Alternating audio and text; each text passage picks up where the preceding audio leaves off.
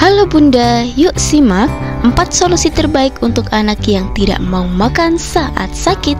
Ini tips dan cara mengatasinya. Tonton video ini sampai habis yuk bun. Video ini dipersembahkan oleh madu369.com Madu369, spesialis anak susah makan. Jangan lupa untuk di subscribe ya bunda. Kami ucapkan terima kasih untuk yang sudah subscribe. Kami doakan semoga rezekinya lancar dan sehat selalu. Biasanya, sangat sulit bagi anak yang sakit untuk makan. Hal ini sering kali menambah kecemasan para orang tua yang khawatir penyakit anaknya akan semakin parah. Kekhawatiran ini tidak salah. Saat sakit, tubuh membutuhkan lebih banyak makanan kaya nutrisi untuk melawan penyakit yang menyerangnya. Berikut beberapa tips mengatasi anak yang tidak mau makan sama sekali. Yuk simak. Yang pertama, berikan sesuatu yang dapat menyegarkan mulut. Saat sakit, biasanya mulut terasa pahit, sehingga tidak heran jika anak tidak nafsu sama sekali.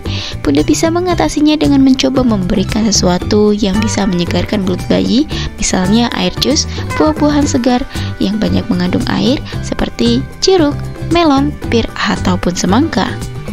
Yang kedua, merangsang nafsu makan anak.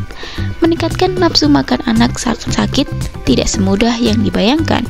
Usahakan untuk memberikan makanan kesukaan anak meskipun sedang sakit agar makanan tersebut masuk ke dalam tubuh, entah itu sop sayur, buah, atau sekedar kue.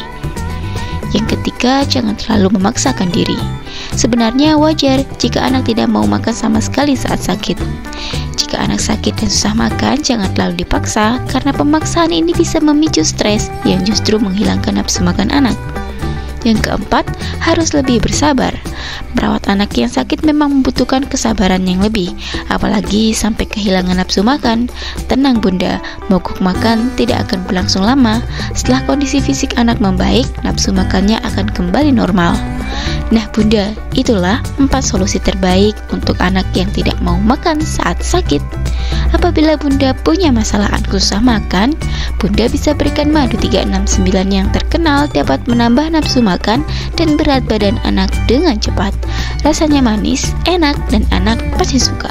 Cocok untuk anak usia 1-15 tahun. Bisa beli di website resmi www.madu369.com atau WA admin pada nomor tertera ya bunda.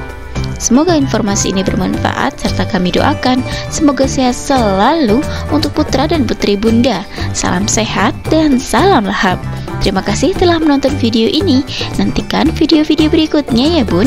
Agar tidak ketinggalan, bunda bisa langsung klik like, share, dan subscribe video ini. Sampai jumpa di video selanjutnya.